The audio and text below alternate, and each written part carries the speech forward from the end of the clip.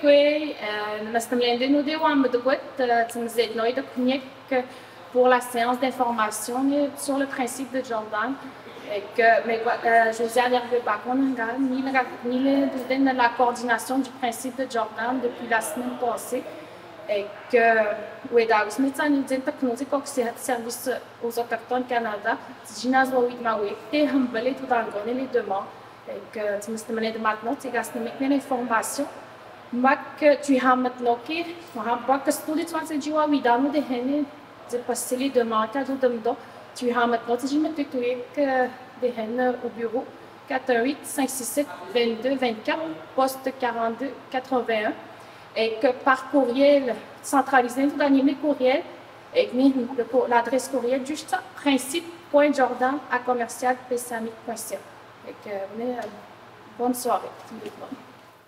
Oui, bonjour tout le monde.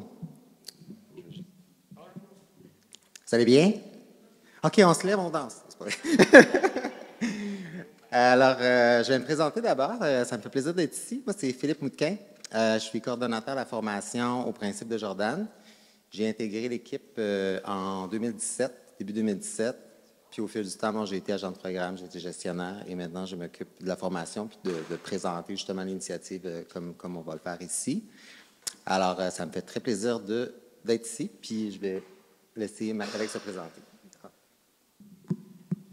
Alors bonjour, moi c'est Audrey Théberge-Lavoie, euh, collègue de Philippe là, en tant que coordonnatrice de formation au principe de Jordan aussi. Euh, je suis vraiment contente d'être ici ce soir, puis je suis contente que vous soyez déplacés aussi pour euh, venir accueillir toute l'information qu'on a à vous partager. Alors, bonne présentation. Merci. Alors, on va, c'est une présentation que je vais faire, à peu près une vingtaine de minutes. Euh, si vous avez des questions, vous serez invité à, les poser, il n'y a pas de problème. Euh, peut-être à la fin, puis euh, Audrey pourra se promener, ou si vous voulez aller là aussi, là, il, y a, ce micro-là, pour que vous puissiez poser vos questions. Comme ça, ben, vu que c'est enregistré, tout le monde va pouvoir bien entendre. Puis quand ça va être diffusé, ben, l'idée, c'est que le plus de monde possible puisse avoir cette information-là. Donc, voilà. Alors, Juste pour commencer, pour, juste pour vous expliquer un petit peu comment nous, on est organisé au niveau de, services aux Autochtones. Euh, donc, on a euh, notre gestionnaire régional qui est Tania Bergamin. On a euh, donc son adjointe, moi et Audrey, qui sommes responsables de la formation. Puis, dans les, au niveau des opérations, on a deux équipes. Donc, une équipe qui est responsable de répondre aux demandes qui proviennent des membres des communautés qui travaillent beaucoup avec, euh, qui vont travailler avec euh, Josiane, puis euh, avec les différents coordonnateurs, mais aussi s'il y a des demandes qui proviennent de familles directement, ce qui est possible aussi, on le verra un petit peu plus tard. C'est ces, gens-là qui vont pouvoir vous répondre. On a aussi une autre équipe aux opérations qui, s'occupe plus des dossiers qu'on dit les dossiers provinciaux. C'est des dossiers qui touchent les Inuits, les CRI, qui sont conventionnés, donc qui sont financés en grande partie par la province mais qui ont quand même le droit à des services au niveau du principe de Jordan, et aussi les centres de services scolaires et les centres d'amitié autochtone dans les milieux urbains. Sinon, ben, il y a les équipes des finances, ça vous touche moins, là. C'est plus du monde qui vont travailler avec, euh, avec euh, Josiane, puis euh, au niveau des finances du conseil. Mais il y a aussi un volet facturation qui peut toucher les gens si vous faites si vous présentez des demandes directement avec le ministère. Donc, c'est une équipe qui va s'occuper de payer des factures soit aux fournisseurs ou faire des remboursements directement aux parents. Donc, on va voir un petit peu le processus plus tard. Puis, on a aussi un volet immobilisation pour toutes sortes de, demandes de différents types. Le processus est un petit peu différent. Euh, il y a des projets majeurs qui se trouvent avec des constructions de bâtiments. Euh, malheureusement, on n'a pas d'autorité pour les maisons d'individus pour le moment. J'espère que ça va changer. Mais euh, tout ce qui touche des adaptations de maison, par exemple, un jeune qui est handicapé, qui a besoin d'une rampe d'accès, qui a besoin d'adapter la salle de bain ou des choses comme ça, ça rentre dans le secteur immobilisation, c'est des projets mineurs. Que vous sachiez que ça, que ça existe, donc euh, s'il y a des besoins à ce niveau-là, n'hésitez pas à faire appel à nous. donc, juste pour expliquer, peut-être que vous savez déjà, mais je trouve ça important qu'on le mentionne quand même. Euh, d'où ça vient, le de Jordan?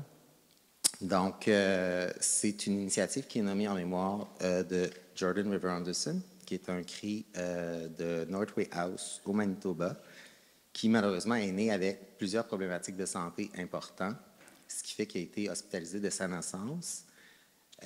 et après deux ans d'hospitalisation, il a eu le hockey de ses médecins pour pouvoir retourner à domicile, à condition qu'il ait accès à du service 24-7 à domicile.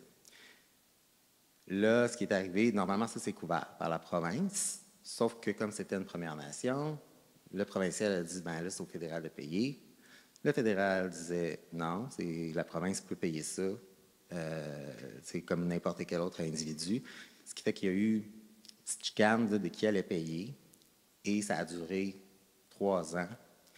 Et malheureusement, Jordan est décédé à l'hôpital. Donc, il n'a jamais pu bénéficier de ce service-là et pouvoir finir ses jours avec ses proches dans sa famille. Donc, là, c'est pour ça qu'en 2007, la Chambre des communes a adopté le principe de Jordan pour éviter que ce genre de situation-là se reproduise. Euh, par contre, en 2007, c'est une initiative qui était méconnue. Il n'y avait pas de publicité là-dessus. Il n'y a pas grand monde qui savait ça. Euh, même, juste moi, personnellement, je travaillais déjà à la DGSPNI, puis je ne savais même pas que ça existait. Il n'y avait pas d'informations à ce niveau-là. Puis ceux qui le savaient, l'admissibilité était extrêmement difficile. Ça prenait, il fallait que tu aies euh, un jeune qui avait de multiples handicaps, il euh, fallait qu'il soit sur réserve, il fallait qu'il soit inscrit aussi. ce qui fait qu'il n'y a pas grand monde qui a pu bénéficier de ça. Et c'est pour ça qu'en 2016, le Tribunal canadien des droits de la personne a exigé au gouvernement de mettre en place de façon plus euh, optimale et de, faire en sorte que ça soit accessible facilement, rapidement et qu'il y ait tout un système pour que ça se produise de façon efficace, d'où la présence maintenant de coordonnateurs dans les communautés pour faciliter tout ça, pour avoir des contacts euh, sur place. Comme je disais, il y a aussi les centres d'amitié qui ont des coordonnateurs aussi pour les gens qui sont à l'extérieur des communautés en milieu urbain, qui ont aussi des besoins. Euh, donc, voilà pour ça. Donc, ça s'applique, comme je disais, les enfants n'ont pas à avoir un handicap ou un diagnostic précis. Euh, c'est les enfants qui restent sur ou hors communauté. Euh, ils sont admissibles dans les deux cas. Et c'est aussi des, toutes, les évaluations qui vont être faites à travers le processus du principe de Jordan ils, vont prendre on va prendre en compte tout l'aspect culturel euh, pour évaluer les demandes et on va se baser aussi sur le concept d'égalité réelle, qui est un concept qui dit que ce n'est pas tous les individus qui ont besoin des mêmes services ou des mêmes produits pour atteindre les mêmes résultats, euh, selon plusieurs facteurs. Donc, euh, la discrimination, le facteur d'isolement, euh, toute, la marginalisation, puis plein de facteurs comme ça qui font en sorte que des fois, il faut aller au-delà de ce qui est à faire que les jeunes puissent avoir accès aux mêmes. En fait, c'est pour les enfants, mais c'est un concept qui existe pour tous, en fait. Donc, ça, c'est un peu ce que ça veut dire. Puis l'image, ben, c'est une image qui exprime un peu bien, on peut voir visuellement ce que ça veut dire. Euh, donc, en 2022, il y a eu une nouvelle approche qui a été mise en place, qui est appelée l'approche axée sur l'essentiel.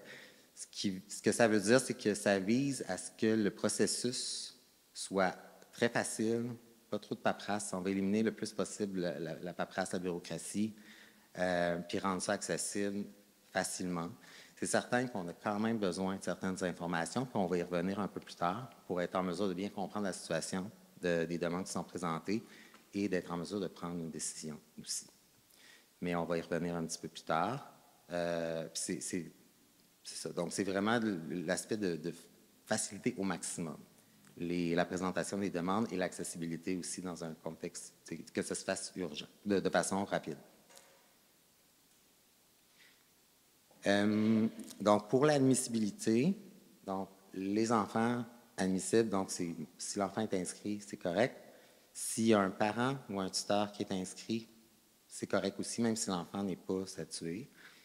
Euh, si l'enfant, en fait, puis ça, je parle de parents, c'est les tuteurs aussi. Puis pour les jeunes qui sont sur une communauté, qui sont autochtones, automatiquement, ils peuvent être pris en charge aussi. Et dans certains cas, euh, si l'enfant est reconnu par sa nation, donc par exemple un, enfant qui est autochtone, qui est adopté par un couple autochtone, qui vit sur la communauté, la communauté depuis toujours, qui est reconnu en tant que membre à part entière de la communauté, à ce moment-là, c'est correct aussi, on va pouvoir le prendre en charge, mais ça va juste prendre une confirmation du conseil ou d'une personne qui est mandatée pour faire ça, puis on va pouvoir euh, prendre sa demande en, compte. Ensuite de ça, pour ce qui est des délais de traitement, parce que le principe de Jordan, ce n'est pas un programme, c'est une initiative qui est due à une ordonnance du tribunal. Pardon. Donc, on a des délais à respecter. Ceci étant dit, je ne vous cacherai pas qu'en ce moment, on a des délais plus, plus longs que ça. On fait notre possible pour essayer de rectifier le tir, mais euh, je vais vous parler des, délais prescrits, là, mais je vous dirais qu'en ce moment, les demandes qui ne sont pas urgentes, c'est à peu près un délai de deux, trois semaines. Mais on travaille pas, comme je vous dis, pour rectifier le tir. Mais sinon, les délais réguliers qu'on est supposé de, de, respecter, pour une demande qui provient d'un enfant, de juste un jeune ou d'enfants d'une même famille, qui n'est pas urgente, c'est un délai de 48 heures. À partir du moment où on a toute l'information nécessaire pour euh, y répondre, dans un contexte de demande urgente, euh, puis, juste pour clarifier un peu le ce que ça veut dire une demande urgente, c'est si l'enfant, si la sécurité de l'enfant est, est mise en, danger, n'ayant pas une réponse dans les 12 heures, Bien à ce moment-là, oui, c'est considéré comme une demande urgente. Évidemment, si c'est un problème de santé grave, puis euh, il y a besoin d'aller à l'hôpital, bien, appelez 911. C'est pas, euh, en, pas, en nous appelant, on ne pourra pas vraiment euh, faire quoi que ce soit pour ça. Mais, mais quand même, c'est quelque chose qui est possible, ça peut arriver, puis ça peut être aussi, par exemple, un jeune qui est en attente pour euh, une opération, puis finalement, il se fait appeler, euh, la famille se fait appeler le vendredi, puis le rendez-vous, c'est le lundi. C'est urgent aussi. Fait que, c'est juste important de le mentionner puis d'expliquer ça. Par contre, je vous dirais que faut pas abuser non plus de cette notification-là d'urgence. Parce que ce qu'on se rend compte de plus en plus, en fait, de plus en plus, on voit ça, c'est que les gens vont mettre urgence parce qu'ils savent qu'on est lié à l'ordonnance et qu'on n'a pas le choix de répondre dans les 12 heures. Mais dans le fond, ce n'est pas si urgent que ça.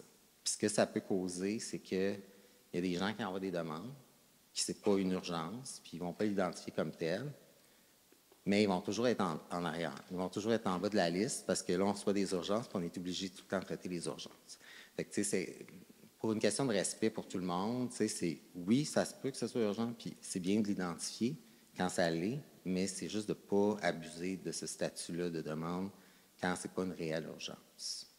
Il y a aussi des demandes qui peuvent être présentées qui ne sont pas nécessairement une urgence, mais qui nécessitent quand même une réponse dans un délai là, plus court. Je ne sais pas, par exemple, si euh, c'est pour une rampe d'accès, puis que c'est l'automne, puis que il faut construire la rampe avant une certaine date, avant que la neige arrive, ben là, tu sais, on appelle ça les, demandes euh, sensibles au facteur temps, time sensitive en anglais. Donc là, c'est important de le mentionner aussi euh, dans la demande à Josiane qui va pouvoir l'identifier aussi. Euh, donc ça, c'est quelque chose qui est possible. Puis on va le voir un peu plus tard, mais dans certains cas, on doit envoyer les demandes au niveau supérieur, au niveau euh, du national. On appelle ça une escalade. Et dans ce contexte ça être beaucoup plus long. Ça se peut que ça change par contre, là, mais euh, pour l'instant, des fois, on peut parler de deux, trois mois, voire même plus des fois. Mais si c'est une demande urgente, si c'est une demande qui est sensible au facteur temps, à ce moment-là, on va la traiter comme telle, puis le national aussi. Fait que c'est vraiment important de le mentionner.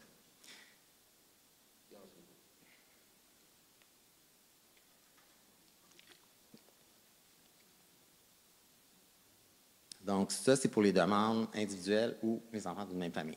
il y a aussi des demandes de groupe qui sont possibles de faire, que ce soit pour un groupe de jeunes identifiés, euh, disons, par l'école, qui dit, bon, ce, groupe de jeunes-là, ils ont de la difficulté, on voudrait les faire évaluer. C'est une demande de groupe. Ou ça peut être aussi une, activité culturelle qui va se donner euh, sur la communauté, puis euh, ça va toucher tous les enfants de la communauté. Ça, c'est des demandes de groupe. Les délais pour ça, c'est sept jours calendrier. Ce pas des jours ouvrables. Puis c'est la même chose aussi pour les, demandes individuelles. Donc, euh, il y a toujours quelqu'un le week-end qui est sur appel. Si jamais il y a une urgence, on va la traiter. Mais pour les demandes de groupe, c'est sept jours. Puis c'est toujours, encore une fois, lorsqu'on a l'information suffisante pour pouvoir prendre une décision. Dans un contexte où on n'a pas l'information, ben, on, va, communiquer avec Josiane, on va communiquer avec les demandeurs pour obtenir l'information euh, euh, suffisante, puis prendre, pour être en mesure de prendre une décision. Parce que le but, c'est qu'on on essaie le plus possible de ne pas euh, escalader des demandes, puis pour justement pas générer des délais additionnels. Euh, ben, ça, c'est juste un petit. Euh, c'est juste les principaux rôles de, la coordonnatrice, dans ce cas-ci, Josiane, nouvellement arrivée, mais qui est bien entourée. Et on est bien content. Donc, il faut, comprendre que Josiane, c'est vraiment le, cœur pour tout ce qui touche le principe de Jordan. C'est elle qui, oui, va aider les familles à compléter leurs demandes, qui va les, orienter vers les documents qui sont nécessaires, comment les obtenir, euh, faire des suivis aussi pour aider les familles à trouver des fournisseurs de services, par exemple. Euh, c'est aussi elle qui va faire le lien un petit peu avec les autres secteurs euh, pour aller valider peut-être qu'il y a déjà des financements qui sont disponibles pour ce type de service-là. On va le voir un petit peu plus tard, mais c'est quelque chose qui est important aussi. Euh,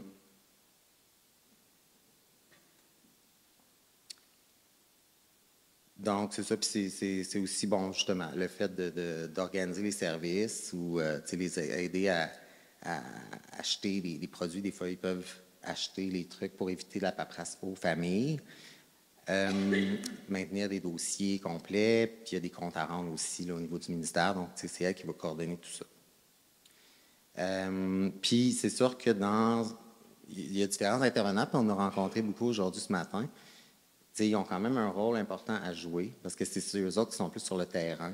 Fait que s'il y a des demandes, ou même n'importe qui, en fait, qui connaît des gens qui auraient des besoins qui ne sont pas comblés euh, pour leurs enfants, puis qu'il n'y a pas moyen de les obtenir ou que c'est peut-être disponible, mais c'est long les délais. par exemple, on le sait, là, dans le réseau public, si l'enfant a besoin d'être évalué en neuropsychologie, par exemple, ça se peut qu'il y ait des délais de deux ans, trois ans.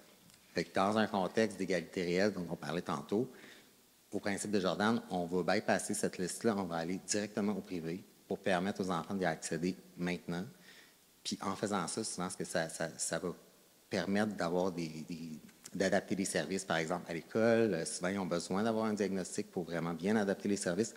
Donc, ça, permet ça. Euh, fait que donc, les, intervenants sont aussi importants ou n'importe qui d'autre.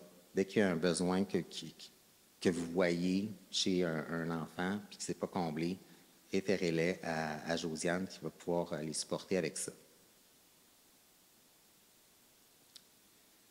Ensuite de ça, ben, les programmes existants, euh, parce que le principe de Jordan, c'est là pour combler les écarts de service, ou encore une fois, comme je le disais, des fois, oui, ça se peut que ce soit payé par la province ou par un autre programme, mais c'est soit très complexe et long à obtenir ou justement des délais d'attente. À ce moment-là, vous pouvez faire une demande au principe de Jordan. Mais s'il y a un programme qui existe, par exemple les SSNA qui couvre beaucoup euh, de, de, produits ou services, médicaments, transport médical, fourniture médicale, euh, soins de la vue, soins dentaires.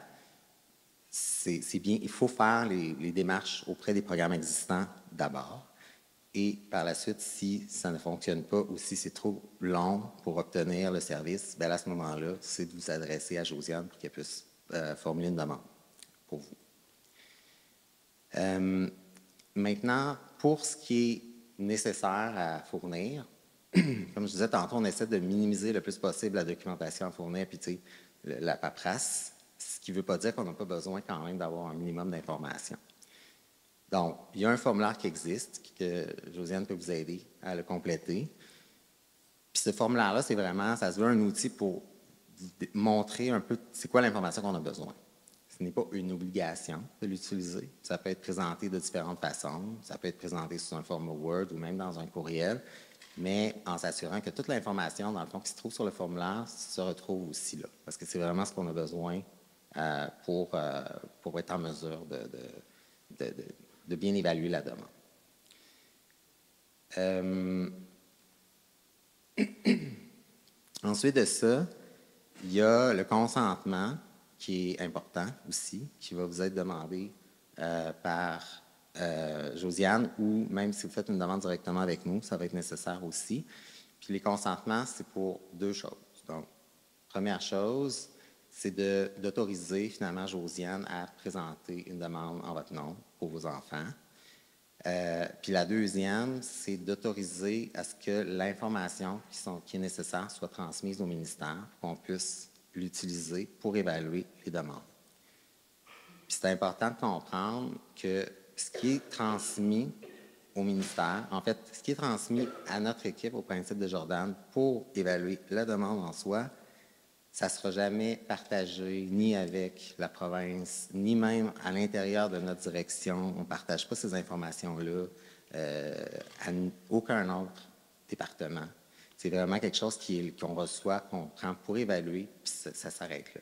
C'est important de le dire parce que des fois, les gens peuvent peut-être avoir peur, c'est des documents assez euh, sensibles. C'est vraiment, il ne faut pas s'inquiéter avec ça. Ça reste juste pour ça. Donc, ça, c'est juste pour vous montrer, dans le formulaire, il y a des sections pour ça. C'est une autre bonne raison pour l'utiliser. Si vous prenez un formulaire, si vous le faites vous-même ou euh, si euh, Josiane vous aide à compléter ça, vous pouvez compléter cette section-là et l'autre d'après pour les deux types de consentement. Et euh, vous signez ça, puis ça, va être ça. Mais ça peut être fait de façon différente aussi. Ça peut être verbal. Puis Josiane va nous aviser qu'elle a le consentement. Donc, du parent, d'un des parents et ou du, tuteur légal. C'est la même chose. C'est dans le formulaire, c'est deux sections pour ça. Euh,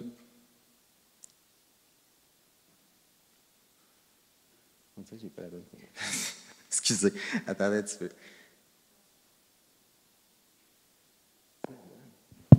OK, je l'ai. Dans le fond, c'est pour savoir c'est qui est-ce qui peut donner le consentement au nom de l'enfant? Alors, on a soit un adulte pour une personne de moins de 16 ans, ou sinon l'enfant de 16 ans et plus peut donner le consentement pour lui-même, ou un adulte en son nom aussi peut le faire. Euh, Excuse-moi. J'ai perdu la, la, diapo, mais c'est pas grave, je peux y aller comme ça. Euh, les adultes qui peuvent donner leur consentement, finalement, on va avoir euh, soit le parent euh, biologique ou adoptif. On peut aussi avoir le tuteur légal. Dans le fond, le tuteur légal, c'est la personne qui est passée par le processus légal euh, en cours pour obtenir la garde de l'enfant. Alors, cette personne-là peut faire euh, la demande pour l'enfant et signer le consentement, les consentements pour cet enfant-là.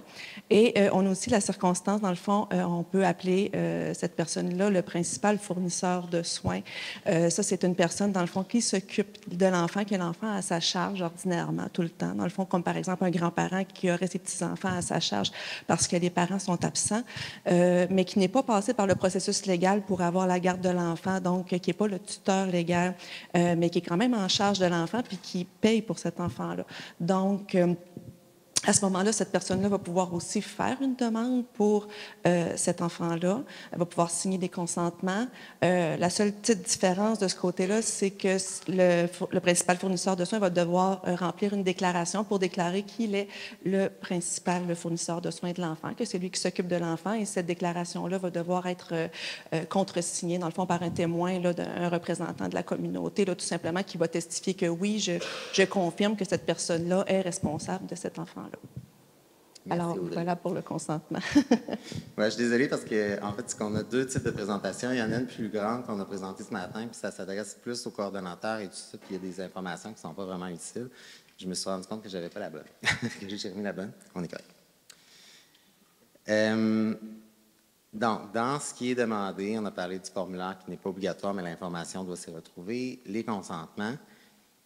Il y a le seul document, en fait, qui est absolument obligatoire à fournir, c'est une recommandation. Ah, excusez.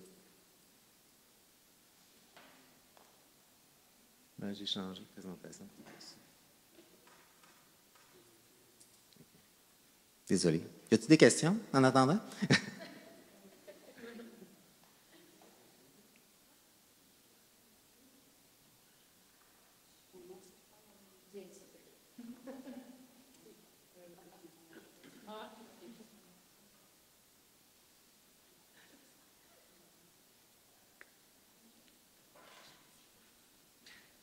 Sinon, il y a un micro là. je ne sais pas si. euh,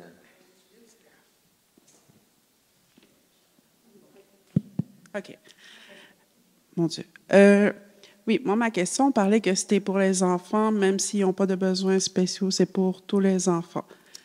Puis, admettons, euh, c'est, par exemple, dans ce qu'on a vu, il y a plus de, de lettres de recommandation de spécialistes. Finalement, pour l'enfant qui n'a pas de besoins spéciaux, ça pourrait être quoi, des demandes?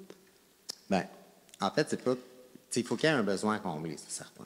OK. Si euh, si, euh, y a un besoin, soit de services, de produits, ou c'est juste qu'il n'y a pas besoin d'avoir de diagnostic précis, mais il faut qu'il y ait un besoin à combler pour formuler une demande.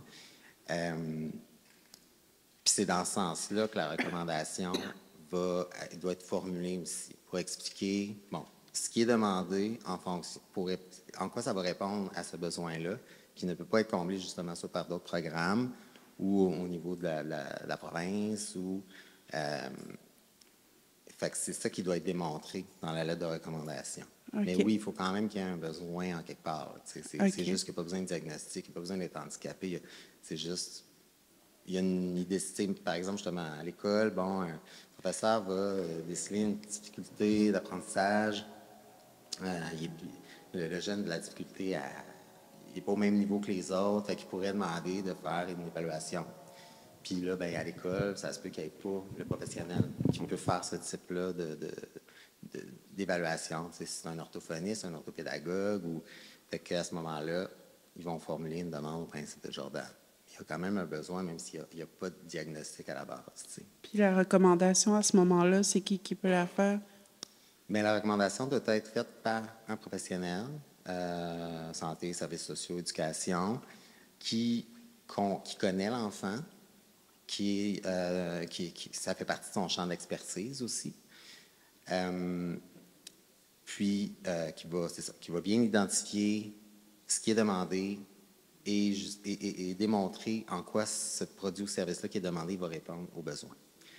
Dans un autre contexte, c'est sûr que si on parle plus de, de une activité culturelle, euh, c'est pas un professionnel nécessairement qui va pouvoir recommander ça. Donc là, à ce moment-là, ça pourrait être un, un aîné qui est reconnu ou une personne qui va qui est mandatée pour organiser un- une activité, euh, euh, une retraite pour euh, tu sais, euh, qui, qui est en lien avec euh, la langue, par exemple, le maintien de la langue ou euh, c'est tout ce qui touche la culture en nature, tout ça.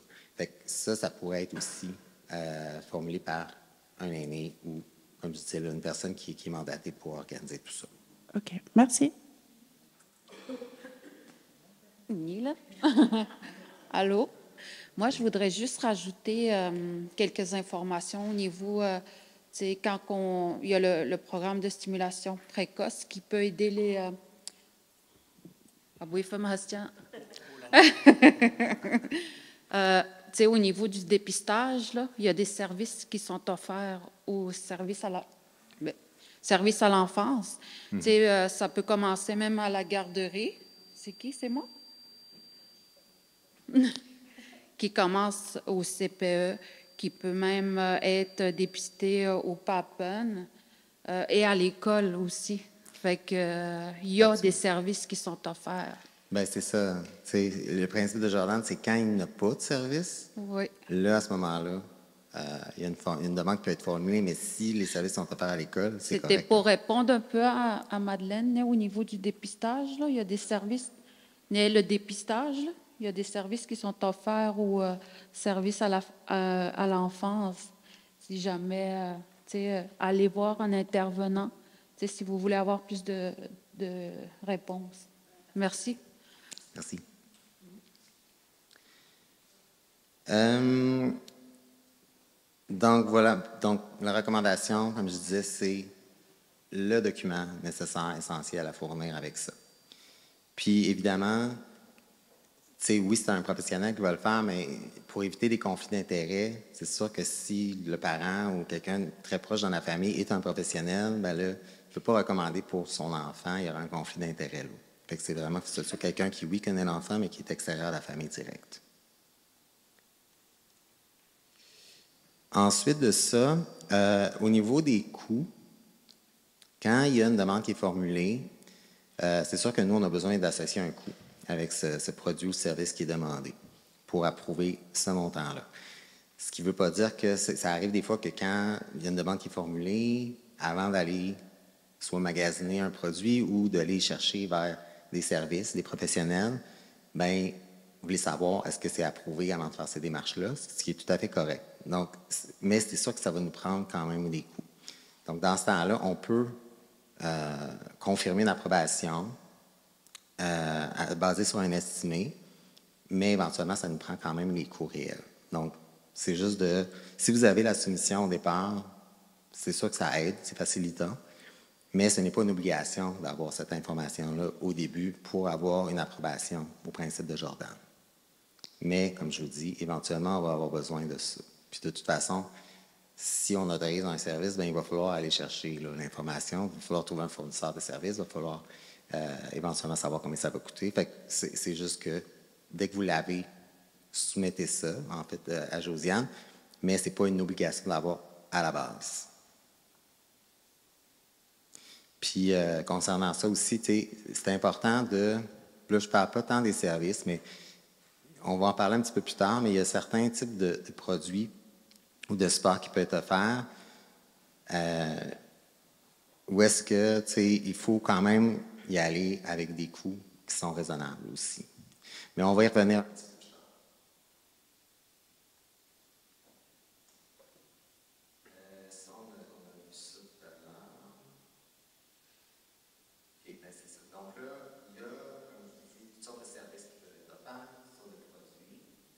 Euh, il y a aussi des demandes qui, on, appelle on dit, qui concernent les nécessités de la vie. c'est des, toutes sortes de types de demandes comme du support pour le loyer, la nourriture, les vêtements. Euh, ça peut être même des fois euh, des arriérages de paiement au CPE. Ça peut être des factures en retard au Québec. ça peut être toutes sortes de choses comme ça. c'est juste qu'il faut comprendre que ça, ce type de demande-là, on peut dans une situation particulière, parce qu'il y a un événement qui s'est produit, qui fait que là, la famille se retrouve en précarité financière, on peut supporter de façon temporaire le temps que cette famille-là se revire de bord, puis puisse s'organiser pour rectifier la situation, aller chercher des ressources et tout. Euh, mais il faut quand même que ce soit clair que ça doit rester de façon temporaire. Puis pendant cette période-là, les démarches vont être faites de la part de la famille pour aller chercher du support. Puis, tu sais, euh, il y a aussi Josine qui pourra vous vous guider ou des gens qui sont en milieu urbain, les centres d'amitié peuvent vous aider aussi, refaire le budget ou tout ça.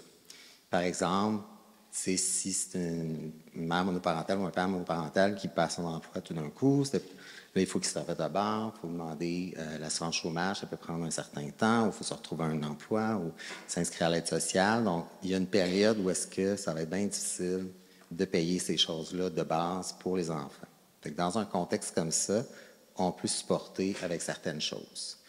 Euh, si, par exemple, aussi euh, un enfant, en fait, une famille doit déménager à l'extérieur d'une communauté, euh, puis c'est dû au fait que, bon, sur la communauté, l'enfant a besoin d'un produit, un, ben, un service plus, puis ce service-là n'est pas accessible sur la communauté. Donc, à cause de ça, ils doivent quitter la communauté.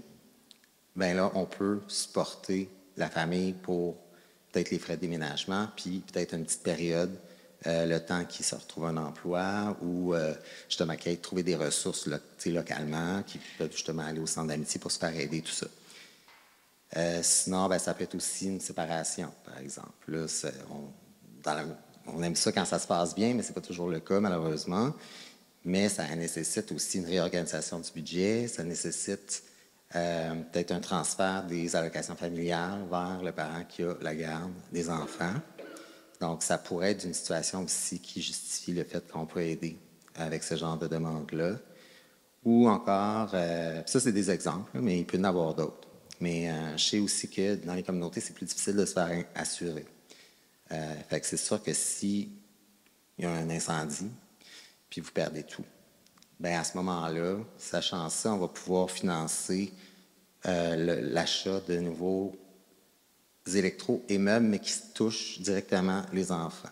Fait que, des électros, euh, set de chambre pour les enfants, euh, table de cuisine, peut-être un divan. C'est sûr que ça va être quelque chose. Ça va tout être des, trucs qui touchent directement le bien-être de l'enfant. par exemple, on ne couvrira pas le set de chambre des parents, mettons. Mais tout ce qui touche l'enfant, on peut aider dans ce, contexte-là. C'est des exemples de, situations, mais il peut y en avoir d'autres aussi. Mais c'est de comprendre que c'est de façon temporaire. Habituellement, on va autoriser ce genre de demande-là euh, si on parle, par exemple, d'aide alimentaire ou euh, pour euh, des vêtements ou payer le loyer pendant un certain temps, mais on va commencer avec un trois mois habituellement. Pendant ce temps-là, la famille se réorganise, essaie d'aller chercher les ressources. Si après trois mois, c'est toujours pas réglé, c'est correct. Ils vont parler avec Josiane. On peut extensionner ça pour un autre trois mois. Mais le maximum qu'on est autorisé, nous, en région, à autoriser, c'est six mois. C'est sûr qu'il y a des exceptions, parce que normalement, après six mois, nous, on doit envoyer ça au niveau national pour que ce soit évalué. Puis sachez que quand on envoie ça au national, c'est un comité d'évaluation qui vont regarder toute l'information qu'on a reçue et qui va être présent, ils vont présenter ça à la sous-ministre adjointe. C'est elle qui va trancher sur la décision. Puis là, donc, ça nous revient après, soit approuvé ou refusé, puis là, ben, on transmet l'information. Euh, mais comme je disais, parce que c'est six mois, mais ça peut arriver. Le, principe de Jordan, c'est pas noir ou blanc, c'est pas. Il y a toujours des exceptions. Euh, n'hésitez pas à le demander quand même. Si c'est toujours pas réglé pour une raison X, vous expliquez la situation, puis on pourrait peut-être quand même y aller avec un trois mois de plus. ça dépend vraiment des situations. c'est important quand même de l'exprimer, de l'exposer, puis de voir qu'est-ce qu'il y en est. Puis ça se peut qu'on pose un peu plus de questions, mais le but, c'est d'éviter une escalade, puis d'éviter que ça prenne du temps euh, pour rien. Puis encore une fois, ben, de toute façon, pour toutes, les demandes, ça prend quand même une recommandation. Dans ce contexte-là, ben, ça peut être soit un travailleur social qui est impliqué dans le dossier, ou si c'est un incendie, ben, avoir un rapport d'incendie qui dit, bon, ben, effectivement, ils ont passé au feu. C'est des choses comme ça. Donc ça, c'était justement les aides au loyer, aide alimentaire, euh, vêtements, ben, électroménager, euh, des fois des services de garde, euh, frais de service public, comme je disais, un peu des factures, mettons, en retard de québec mettons. Puis, ben, c'est ça, ça résume vraiment ce que je disais. Donc, ça, c'est le courriel où envoyer les demandes. Si vous le faites par vous-même, vous pouvez utiliser ce courriel-là. Idéalement, quand vous êtes sur place, c'est préférable de passer par Kathleen, euh, Kathleen, excuse-moi, Josiane. Puis parce que, de un, ça va faciliter beaucoup les choses pour tout ce qui touche les paiements. Euh, ça va aussi permettre de voir, d'avoir une vue d'ensemble sur les besoins de la communauté pour éventuellement peut-être faire une demande de groupe et qu'au lieu que les familles, par exemple, s'ils ont besoin de services, soient obligés de quitter la communauté pour aller euh, avoir un rendez-vous euh, plus loin, ce qui fait que l'enfant va manquer des jours d'école, le parent va manquer des jours de travail. Bien, en sachant un peu c'est quoi les problématiques plus générales, peut-être qu'il préfère venir un professionnel à la place. Comme ça, ça évite ça. c'est important que, comme ça, elle peut voir un peu vraiment les besoins globaux de la communauté. Ça ne veut pas dire que vous ne pouvez pas soumettre des demandes. je peux comprendre que des fois, on préfère pas exposer ça. Quand on est dans une petite communauté, des fois, on préfère garder nos trucs pour nous. C'est tout à fait correct, c'est possible de le faire. Mais sachez par contre que si c'est comme ça que, vous préférez fonctionner, de notre côté, on va le voir un petit peu plus tard, mais c'est sûr que nous, on ne peut pas euh, faire d'avance de fonds. Puis, dans la mesure du possible, oui, on va payer les fournisseurs de services directement, au même titre que euh, Josiane. Mais des fois, ce n'est pas possible. Donc, ça implique que vous allez devoir payer pour les dépenses et soumettre une demande de remboursement par la suite. Et ça, ces délais-là, en ce moment, là, encore une fois, on essaie de rectifier le tir. Mais comme vous savez peut-être, le principe de Jordan, ça a explosé. Puis euh, on a du retard. ça peut prendre des fois deux mois pour un paiement. Ce qui n'est pas le cas quand vous passez par Josiane. Il va quand même y avoir des délais. Il y a quand même tout un, processus. Mais euh, c'est plus rapide, c'est certain. Euh, bon, je parlais des escalades tout à l'heure. Comme je disais encore une fois, si c'est une demande qui, oui, doit être escaladée, parce que c'est sûr que vous allez être informé de ça. Euh, puis avant de l'escalader, on va essayer d'aller obtenir l'information. Si on n'est pas capable, ben, on va devoir l'escalader, vous allez être au courant. Si c'est urgent ou si c'est une demande justement qui ne peut pas attendre deux mois, bien là, c'est important de la mentionner. Dire, ben OK, c'est correct, c'est pas une urgence-urgence, mais euh, d'ici deux semaines, si on n'a pas de réponse, ça ne marchera pas. C'est important de la mentionner, puis on va identifier ça tel quel, puis on va l'envoyer au national de cette façon-là, et ils vont respecter les délais qui sont demandés.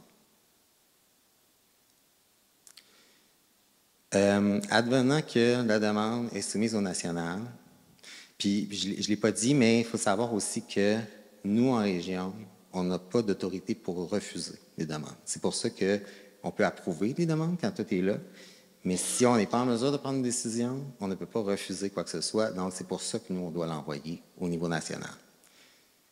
Et donc, si c'est le cas, c'est parti national, la réponse revient, puis c'est refusé.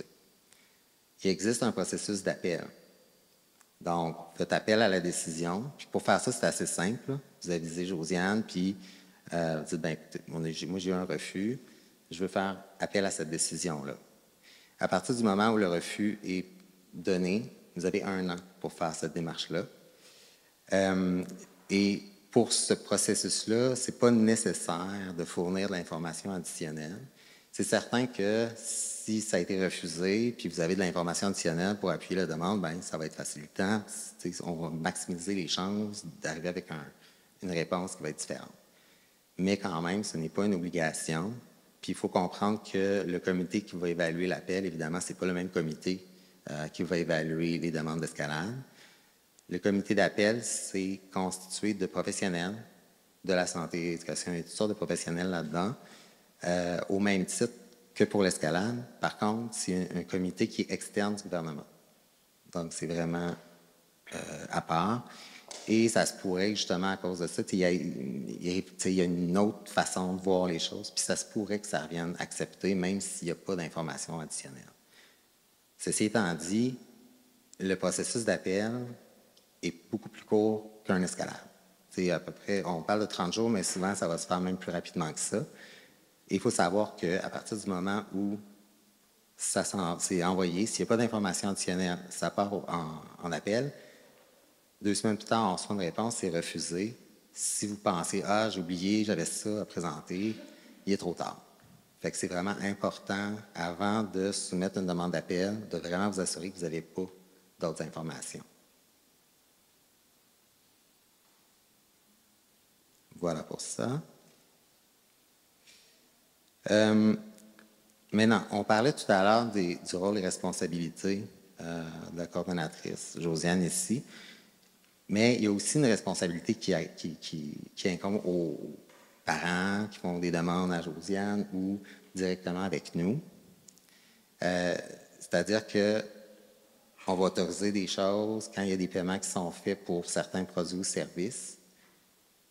Ça va être important de fournir des reçus à Josiane ou à nous. Euh, puis, il faut que ce soit des reçus officiels, il faut que ce soit des reçus qui correspondent exactement à ce qui a été autorisé, puis c'est pourquoi l'argent vous a été donné. Puis, euh, si, par exemple, il y a une avance de fonds qui a été faite pour acheter, je prends un exemple, un frigo, par exemple, puis que finalement, bon, le frigo, euh, la soumission était soumise, puis c'était 1000 puis que finalement, vous arrivez au magasin, puis c'est... Fait qu'on vous a donné 1000 puis le magasin, c'est en spécial, puis c'est 800 Bien là, le 200 il faut le remettre. C'est pas l'argent qui est à vous. Fait que c'est important de, de, de penser à ça, puis ça va vous être demandé. Puis encore une fois, de toute façon, il faut fournir la facture, absolument. Donc, ils vont le voir, il va falloir redonner cet argent-là. Ça peut être le cas, par contre, à l'inverse, ça coûte un peu plus cher, parce que justement, il est en spécial quand vous l'avez vu, puis finalement, il ne l'est plus, ça coûte 200 pièces de plus. à ce moment-là, c'est pas grave. Tant que ça correspond à ce qui a été approuvé, on peut faire un ajustement par rapport à ça. Mais euh, Donc, euh, c'est important vraiment de, comprendre bien ça. puis de le respecter. Parce que c'est important aussi, parce que si les factures ne sont pas données pour les produits ou services qui sont approuvés, il faut comprendre que l'argent, nous, c'est comme s'il n'y avait pas eu de dépenses, alors que ce n'est pas vrai. Et donc, l'argent va être récupéré, c'est la communauté qui va être en déficit par la suite. c'est une responsabilité qui doit être comprise par tous et pour, euh, pour respecter euh, tout ça, puis pour ne pas pénaliser d'autres personnes, puis l'ensemble de la communauté en créant des déficits. C'est vraiment important de s'assurer de tout, euh, présenter ça.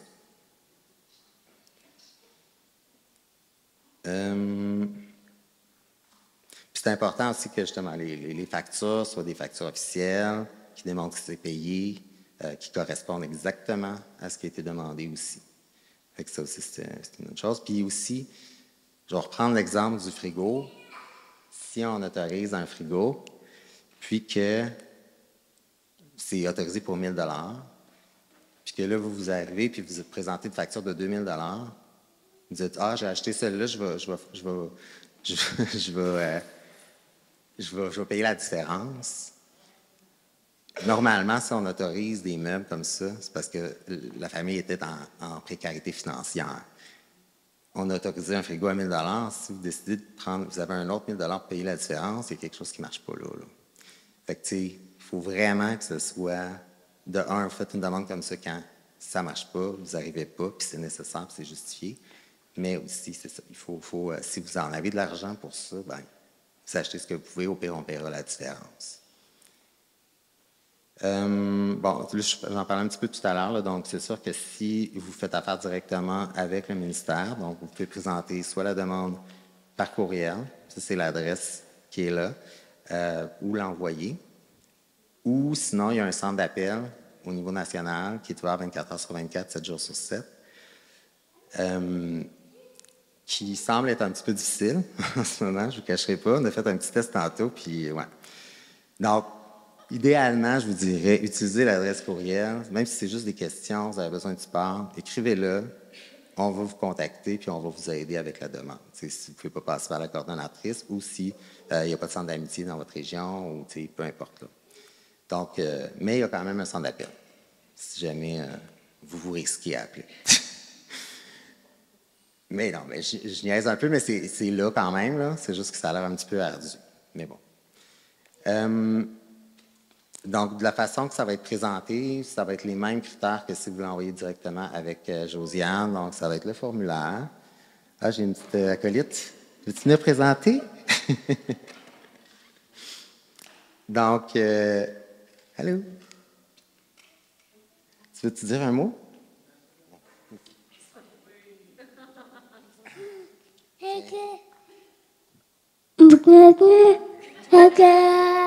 Tu peux chanter? Chantes-tu? Bravo! yeah! um, donc, c'est ça. C'est la même façon de procéder. Donc, même, ça nous prend l'information du formulaire, ça nous prend les, la recommandation importante. Euh, les coûts associés à tout ça. Par la suite, nous, on va procéder au paiement, soit, si c'est possible, au fournisseur de services. C'est souvent le cas, on peut le faire souvent, mais il y a des, certaines demandes qui sont plus difficiles. Donc là, à ce moment-là, vous payez, vous faites rembourser par après. Il y a des délais additionnels et euh, il y a quand même certains documents à euh, présenter. Donc ça, c'est le formulaire de réclamation. Vous complétez ce formulaire-là. Euh, que vous allez accompagner avec la première demande de remboursement. Ça prend, parce qu'on va faire les paiements par dépôt direct. Euh, c'est la seule façon d'effectuer des paiements au ministère. Donc, ça, c'est le formulaire pour vous inscrire au dépôt direct. Ça doit être, euh, il doit être accompagné d'un chèque spécimen. Comme je vous dis, c'est la première demande de réclamation. La première réclamation que vous faites, ça, c'est nécessaire. Par la suite, à moins que vous changiez de compte de banque ou à moins que l'adresse change, vous n'aurez pas à compléter ça à chaque fois. Euh, donc, ça, c'est juste pour expliquer. dans le fond, le formulaire doit être complété en entier euh, avec toutes les informations qui figurent là-dessus. L'adresse pour envoyer vos euh, factures par la suite, une fois que c'est approuvé, c'est cette adresse-là. Puis d'ailleurs, ce, document-là va être transmis à, Josiane, pour qu'elle pourra elle pourra vous le partager. Puis de toute façon aussi, il va y avoir euh, la, présentation est, filmée, fait que je ne sais pas si on peut voir le, formulaire à travers ça, la présentation, mais sachez que vous pourrez accéder à ça aussi. Euh, comme je disais, ben là, on a des délais en ce moment, fait qu'on parle d'à peu près deux mois pour le paiement des factures. On essaie de rectifier le tir. Normalement, on, on essaie de le faire dans les deux semaines, mais en ce moment, dû à l'explosion, c'est pas euh, possible en région en ce moment. Fait que si vous n'avez pas votre paiement après deux semaines, c'est normal. Euh, voilà. Puis s'il y a des suivis à faire au niveau de la facturation, une fois que c'est envoyé, bien ça, c'est l'adresse euh, où envoyer vos questions ou euh, vos réclamations et tout ça. Ensuite de ça, bien, c'est juste les, les informations. Donc, le site web du ministère, il y a toutes les adresses. Donc, pour envoyer une demande, il y a une adresse. Pour la facturation, il y a une adresse. Les deux autres, ça touche moins. Il y en a une, c'est pour euh, les immobilisations. C'est un petit peu moins, euh, c'est moins pour, les familles. Puis l'autre, ben, c'est plus pour les contributions. Donc, euh, c'est moins, ça s'applique moins pour les familles aussi. Puis le numéro du centre d'appel 247. Ensuite de ça, ben ça, c'est dans notre équipe, les agents de programme qui sont responsables pour votre communauté. Donc, Claudine Laporte, Marc-André Poulette et Betsy Rose Tepiskin, qui sont rejoignables à l'adresse courriel qui est la même que si vous envoyez des demandes. On a aussi le site de la commission, parce qu'il y a pas mal d'outils là-dessus aussi qui développent puis qui continuent à développer. Fait qu'il y a beaucoup d'informations intéressantes au niveau du principe de Jordan, mais aussi au niveau des SSNA, en- entre autres. Fait que c'est intéressant à aller euh, voir. Puis on a les coordonnées de Tatiana, qui est responsable euh, au niveau de la commission pour le principe de Jordan et aussi pour les SSNA. Alors voilà, c'est ce qui met fin à la présentation. Je ne sais pas si vous avez des questions. Oui? Bonjour. Moi, ma question concerne, euh, est-ce que, dans le fond, tantôt, euh, dans le deuxième volet, vous avez parlé de, des intervenants euh, provinciaux. Est-ce que les centres de services scolaires peuvent, eux, être demandeurs pour des élèves? Oui. OK. On reçoit des. Ben, ça vient souvent des écoles, Oui. Puis on transfère l'argent au centre de services scolaires. Évidemment, les parents vont donner leur consentement. là. Oui, c'est ça. Dans le fond, on peut nous faire les. Parce que là, je, je- en fait, moi, je suis nouvellement agente de liaison autochtone pour l'école secondaire Serge Bouchard. Donc, de où mon intérêt d'être oui, ici oui. ce soir. Absolument. Euh, donc, si je comprends bien, dans le fond, euh, nous, on peut faire des demandes pour des jeunes en particulier ou même de groupes. Puis, euh, en ayant l'accord, bien entendu, du parent, Exact. on peut procéder euh, aux demandes. Est-ce que c'est préférable que ce soit le parent qui fasse la demande, puis que nous, l'école, on soit la recommandation, ou de- Ben, en fait- d'une façon ou d'une autre, on peut procéder? Les deux sont possibles, mais c'est sûr que dans un monde idéal, c'est qu'on veut éliminer le plus possible le fardeau sur les familles. Que C'est pour ça qu'on a des coordonnateurs dans les centres d'amitié, dans les communautés, et qu'on a des ententes ça, avec les centres de services scolaires. Parce que c'est sûr qu'en même temps, c'est à l'école, les profs sont avec les enfants, euh, ils peuvent voir, ils peuvent déceler certaines problématiques que les parents n'auront peut-être pas nécessairement dans un contexte d'apprentissage. Fait que là, c'est d'en parler avec les parents, puis formuler une demande pour eux, ben, ça va faciliter les choses. Puis à ce moment-là, c'est le même site Internet, puis tout ça. C'est la même façon de procéder.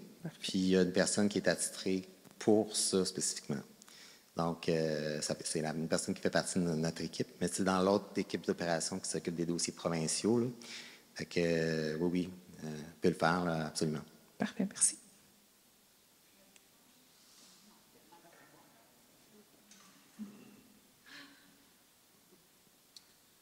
Moi, je voulais répondre un peu à madame.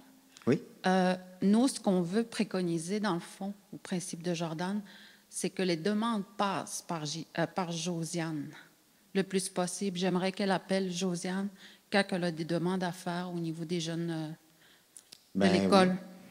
Moi, c'est ce que je préconise. Ben, écoute, oui, oui, absolument. C'est- correct aussi. Puis, comme je disais, ça permet vraiment une vision globale. C'est juste que c'est sûr que si l'école est à l'extérieur des communautés, quand l'école est à l'intérieur de la communauté, c'est sûr que. Oui, c'est ça. c'est ça. Là, je Parce que c'est une là. école qui est non autochtone, mais j'imagine que c'est pour des jeunes qui fréquentent l'école. euh, Oui, ben c'est sûr que oui, ça peut se faire comme ça, là, puis tu sais, c'est Ouais. correct, là. C'est juste, sais, il ne se passe pas toutes les communautés qui, qui fonctionnent de la même façon, puis c'est juste qu'on, toutes les possibilités, on, veut- on veut les exposer pour être sûr qu'il n'y a personne qui tombe dans les cracks. Parce qu'on veut, tu sais, si on nous demande des questions, on veut être au courant aussi. Là, C'est des... c'est super, ouais. OK. Fait que oui. Est-ce qu'il y a d'autres questions?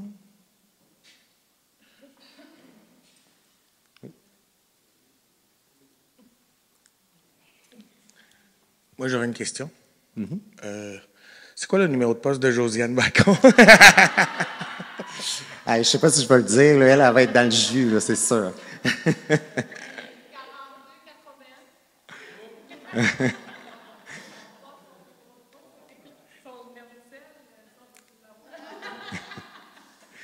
Non, mais c'est ça. Puis, tu sais, n'hésitez pas à faire appel à elle, mais, tu sais, aussi, soyez indulgent parce que cette job-là est tough. Puis, euh, oui, il y a des délais, puis c'est pas nécessairement de sa faute non plus. Puis, il faut savoir aussi que la décision finale, c'est notre. On, discute ensemble, mais, c'est pas elle qui, dit non. On a fait tout ce qu'elle peut, elle vous aide, elle présente les demandes, on en discute ensemble, mais la décision finale revient. Puis comme je vous dis, même les refus, ça ne vient pas de nous. En région, ça va se faire au niveau du national. Mais on essaie d'éviter ça. Juste pour dire que franchement, c'est une grosse job, puis euh, soyez indulgents avec elle. Est-ce que. Oui? T'as juste peut-être parlé dans le micro, juste pour que. Je m'en viens. Bon, Parce que les- c'est enregistré, c'est important. tu Les, les questions sont bonnes, fait que comme ça, ça va bénéficier à tout le monde qui va écouter. J'ai mon garçon qui fait le, le sport-études Mhm. à Sept-Îles. Bon, lui, il faut qu'il déménage, qu'il reste dans, un, dans une pension. Est-ce a une aide financière pour... euh, parce qu'il fallait que je paye euh, la moitié de la pension, Ben, puis les déplacements. Tu sais, au niveau des sports, on en finance des fois des, des situations comme celle-là. C'est sûr que la- quand on finance ça, c'est parce que le jeune est désavantagé. Par exemple, il reste dans une région très éloignée est-ce qu'il n'a pas de possibilité de faire du sport. Il y a pas, c'est impossible si- à part s'en aller euh, justement dans une école euh, sport-études comme ça. Dans ce contexte-là, on peut financer ça. Ou, par exemple, il peut y avoir des situations où est-ce jeune qui est, euh, fait de l'anxiété sociale, puis euh, il est très renfermé, l'école décèle ça, puis le fait de faire du sport, par exemple le hockey, ben c'est un sport d'équipe, ça l'aide à sortir de sa coquille, puis ça amène des résultats positifs. Dans un contexte comme celui-là, évidemment, il faut que ce soit recommandé, mais on pourrait aider à ce niveau-là. Mais il faut quand même qu'il y ait une raison qui, qui, qui vient démontrer que votre, votre garçon, ça va venir répondre à un besoin. Si c'est pas financé, il va, il va être- il, va y avoir quelque chose qui va manquer là, dans son bien-être et tout ça. Est-ce que C'est- rétroactif? Hein? Est-ce que c'est rétroactif? Que Euh, ben, si c'est justifié, oui. Parce que j'ai- d'autres enfants, là, euh, ça me coûtait cher.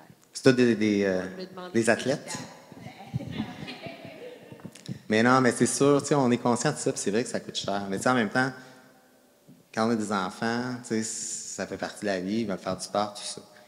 Mais comme je dis, dans un contexte Première Nation, puis dans un contexte où est-ce que la communauté est isolée, ils n'ont pas accès nécessairement à ça. Fait que dans ce contexte-là, oui, on peut aider. Mais si c'est quelque chose qui est accessible facilement, euh, ou qu'il n'y a pas d'autres raisons autres, ça ne veut pas dire de ne pas les présenter. Discuter ça avec Josiane, puis on verra selon la situation. Encore une fois, il faut que ce soit recommandé. Il faut que le besoin soit démontré, le besoin comblé à travers le sport, dans ce cas-là.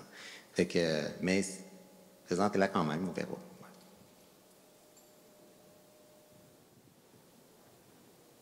Pas d'autres questions? De toute façon, s'il y a des questions qui vous viennent par la suite, euh, Josiane est là pour y répondre, on pourra se parler aussi, fait que n'hésitez pas. Ah oui.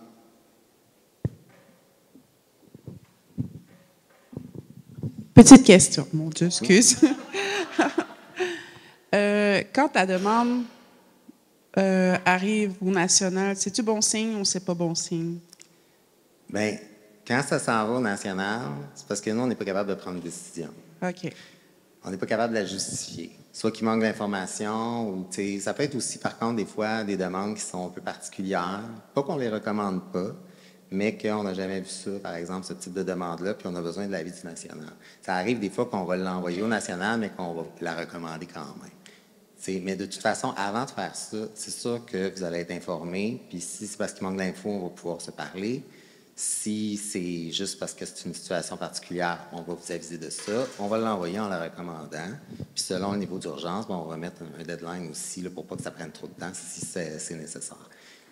Mais, euh, mais c'est sûr que normalement, comme je dis, on essaie de pas le faire. D'escalade, on, trouve souvent une façon de s'entendre, mais si on doit le faire, c'est parce que sinon on ne recommande pas. Mais ça ne veut pas dire que ça passera pas.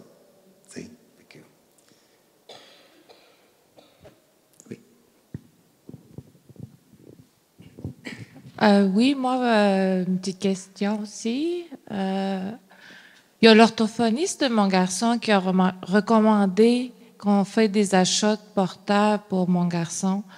Mais étant donné que les prix sont très vastes, un, portable, y a-t-il un montant limite? Il n'y a pas de montant. Peu importe ce qui est, nécessaire. Le principe de Jordan, il n'y a pas de montant attitré. Ce n'est pas comme un programme comme l'SSNA qui dit on paye tant pour les lunettes, on paye tant pour les orthèses? Ceci étant dit, on y va dans, selon le besoin, on va y aller avec un prix raisonnable. Puis je ne dis pas de pas prendre quelque chose de qualité. Je ne dis pas d'aller chercher un, ordinateur usagé ou euh, à 200 pièces c'est plus cheap. C'est pas ça. Mais si c'est par exemple pour avoir accès à des séances par Zoom ou Teams, ben ça prend un ordinateur, mais ça n'a pas besoin d'être un ordinateur hyper performant. Fait on va y aller avec quelque chose de standard. Par contre, si c'est un besoin, par exemple, pour un jeune qui est dyslexique, il a besoin d'un programme, par exemple Lexibar, qui prend beaucoup de, mémoire. Je ne suis pas très bon en informatique, mais ça nécessite quelque chose de plus performant. À ce moment-là, ben, c'est justifié d'y aller dans une coche au-dessus. Fait que ça dépend des situations. C'est toujours du cas par cas. Il n'y a pas de rien de défini. Concernant, il faut-tu que je le paye avant puis je demande remboursement ou je peux envoyer une soumission puis vous, vous payez? Comment ça marche? Ben, en fait, vous passez par euh, Josiane si, vous voulez, idéalement. Puis, euh, dépendamment, je pense que peut-être tu peux l'acheter directement. Je ne sais pas comment vous êtes organisé sur place. Sinon, ben, peut-être vous avancer de l'argent si vous n'avez pas les moyens. Ou sinon, ben, si vous pouvez l'acheter et vous faire rembourser. de toute façon, une fois que c'est approuvé, c'est sûr que ça va être payé. Vous pouvez présenter, là, vous magasiner, vous, envoyez ça avec euh, une copie d'écran. Euh, je pensais que c'était moi. non, je pensais que c'est moi qui l'ai coché. Mais c'est ça. Puis euh, aussi, euh, euh, il pose tout le temps des questions. Non, vas-y, c'est parfait, on est là pour ça. Non, parce que mon garçon, il est déjà suivi en orthophoniste à l'école, mais elle a recommandé qu'il soit suivi aussi à l'extérieur des, heures d'école. Est-ce que ça, ça va être couvert? Absolument. OK. Fait l'orthophoniste de l'école, parce qu'on le sait, là, à l'école, il voit beaucoup de jeunes, puis ils n'ont pas nécessairement le temps de suivre de façon très assidue. Ça va être plus espacé, mais c'est pas suffisant. Fait que oui, elle a juste à recommander ça, écrire une lettre, fournir ça à, Josiane, puis on va pouvoir approuver des sessions, soit à la maison ou dans un bureau d'un orthophoniste au privé. Euh, une dernière question? oui, vas-y, vas-y. Mais ça, c'est une question de, mon frère. Euh, lui, son garçon, il n'y a pas de diagnostic, il n'y a pas de, officiel, là. Mm-hmm. mais il y a de la difficulté à l'école. Puis eux autres, ils prennent un, tutorax, je pense qu'il appelle. Oui. Et peux-tu demander qu'on les aide, même s'il n'y a pas de diagnostic oui, officiel? S'il y a une difficulté, des fois c'est une difficulté plus en maths, en français, ou peu importe, oui, on peut payer ça. Le professeur va écrire une note de recommandation. Dans ce cas-là, c'est souvent le professeur qui va faire ça, présenter la demande avec ça. Puis euh, on, peut payer, on peut payer du tutorat pendant une période donnée, ou dépendamment de quoi les besoins puis on renouvelle si c'est nécessaire après cette période donnée-là. Merci beaucoup. Pas de problème.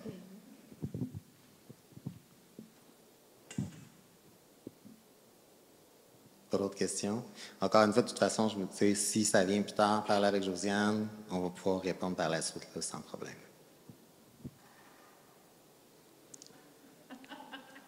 Josiane, tu vas devenir la meilleure amie de tout le monde. Merci beaucoup.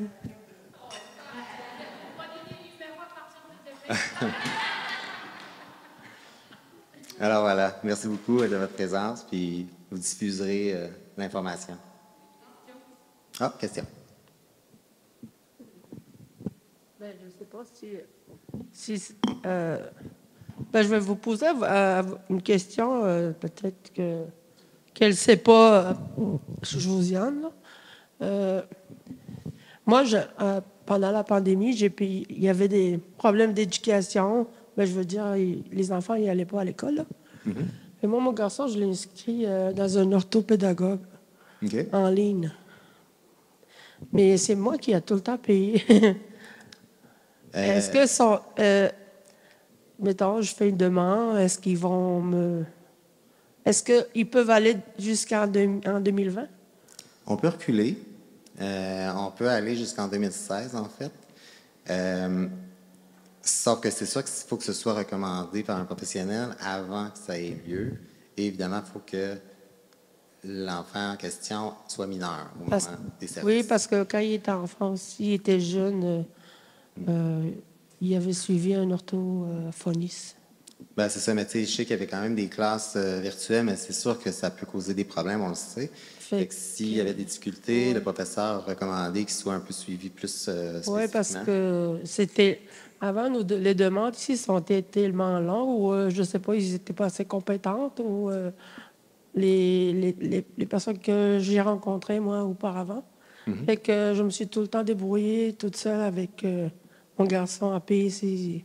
Ben, ça, oui, ça, peut être remboursé. Comme je dis, jusqu'à, on peut reculer jusqu'au 5 juillet 2016, mais il faut que ce soit recommandé. Donc, si le professeur vous a dit, ouais, il y a de la difficulté, il faudrait peut-être le poursuivre en orthopédagogie, il vous a écrit une lettre de recommandation, puis même s'il n'a pas écrit une lettre à ce moment-là, il pourrait écrire une lettre maintenant en disant, effectivement, on y avait parlé de cette problématique-là, puis on y avait suggéré ça. Ça va être correct aussi. Oui. C'est choquant, par exemple, quand tu rencontres quelqu'un qui travaille dans un service santé, qui ne connaît, qui connaît pas vraiment le, les choses, je veux dire, mais fait que moi, je suis un peu en colère. Là. C'est pour ça que je me suis débrouillée toute seule avec lui, puis maintenant, il va aller en secondaire 4. Ça, mais euh, c'est moi-même qui l'a tout le temps euh, encouragé. Euh, comment trouver des, des bons termes pour l'encourager. Lorsqu'il s'est fait intimider, c'est tout le temps moi qui, mm-hmm. qui l'encourageais de ne pas se renfermer. Bien, c'est tout à votre honneur. Puis, tu sais, c'est juste que c'est ça. quand on parlait tantôt de recommandations dans le champ d'expertise professionnel, c'est sûr que si c'est des problèmes plus au niveau de l'éducation, peut-être plus au niveau de l'école qu'il peut avoir des recommandations qui sont formulées dans ce sens-là. C'est comme, comme là, mon garçon est ici, il est tout le temps, je on communique beaucoup, puis il a tout le temps été ouvert tout ça. Même lui, euh, il peut m'en en parler. Il m'en ah parle encore. Ça peut être euh, remboursé euh, rétroactivement sans problème, comme je vous dis, en ayant une, recommandation écrite que vous allez présenter à Josiane. D'accord, merci.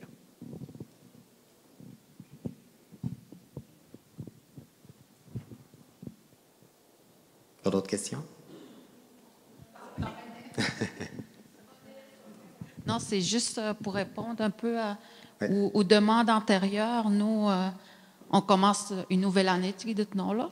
Une nouvelle année, nous, à partir du 1er avril, on s'occupe, moi et Josiane, du principe de Jordan. Puis nous, on veut vraiment assurer la stabilité des services. On veut vraiment, on prend vraiment en considération les demandes. Fait que gênez-vous pas d'appeler Josiane. on l'a nommé plusieurs fois aujourd'hui.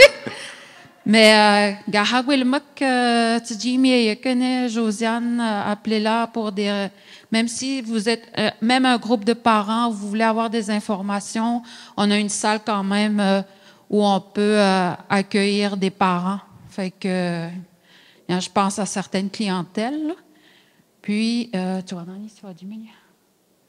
Bon, c'est à partir là, je voulais vraiment spécifier que nous, à partir du 1er avril, euh, puis je veux vraiment que les gens reçoivent réponse à leurs besoins. Euh, Merci.